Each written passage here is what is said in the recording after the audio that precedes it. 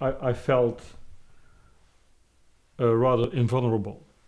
It always happens to other people. Mm-hmm. Everything, uh, all bad thing happens to other people, and now this happened to me. I'm Rob Byens, 41 years old. I have IVF and I have a SICD.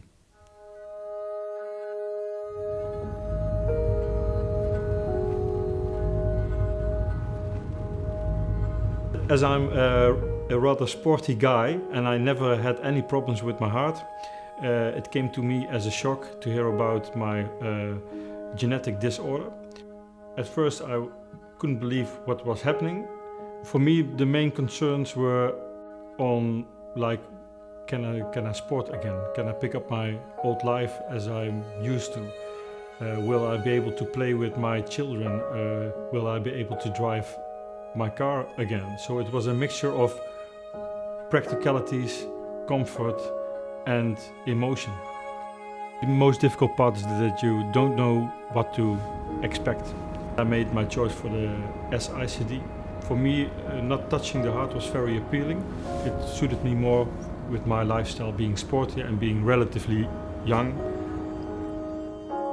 On one hand, I was really afraid that my life would change completely. Uh, on the other hand, I was very happy because now I knew that I was in danger and that there was a good solution for it.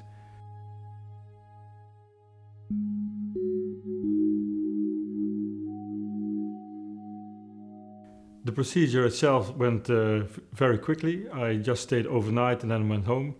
The only problem for me as a sporty guy was that I completely lost my stamina.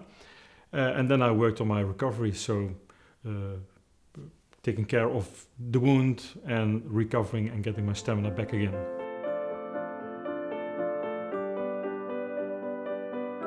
I feel my SICD system almost always, and I was really afraid that it would bother me and I would be very irritated by the system, especially when I felt the system at first and I saw it. I thought, well, this will be very uncomfortable, but now I still feel it, but it's no discomfort.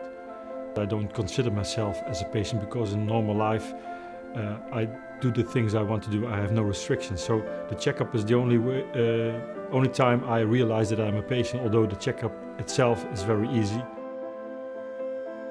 My uh, son uh, Timo, 10 years old, uh, when I recovered from the surgery, I noticed that he was afraid of hugging me, and I was wondering what's wrong with you. So I asked Timo, "Why are you not hugging me again?" And he was afraid of getting a, a shock while hugging me because I told him that this was an electrical device that I'm running on electricity now, so I'm really cool. So I'm the cool dad with uh, electrical device uh, inside him. I told him that uh, he shouldn't be afraid of that, and then the problem was clear because now he hugs me again.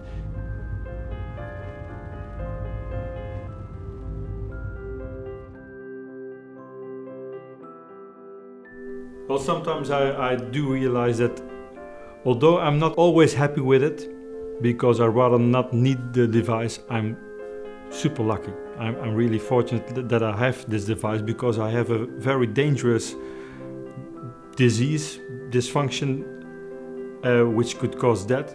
And with this SCD, uh, uh, I'm safe. I'm totally fine with it. Actually, I'm kind of proud that you really can see a scar because it's a part of me, and then you can see there's something there. It sounds a bit strange maybe, but I'm totally fine with it now. I'm Rob Byens, 41 years old. I have IVF and I have a SICD.